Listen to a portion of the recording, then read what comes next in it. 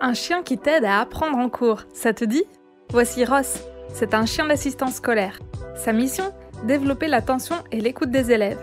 Il est spécialement formé pour apaiser les tensions en classe. Et ça marche plutôt bien. Les conflits ont diminué en nombre et en intensité.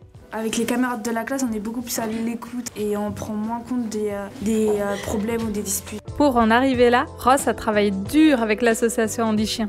Dès qu'un jeune va être en difficulté, le chien va venir se positionner à côté et donc soulager certains mots, pouvoir déclencher la parole. Depuis 2020, ils sont 10 chiens à avoir rejoint des établissements scolaires en France. Tous les établissements peuvent en faire la demande. Pourquoi pas le tien?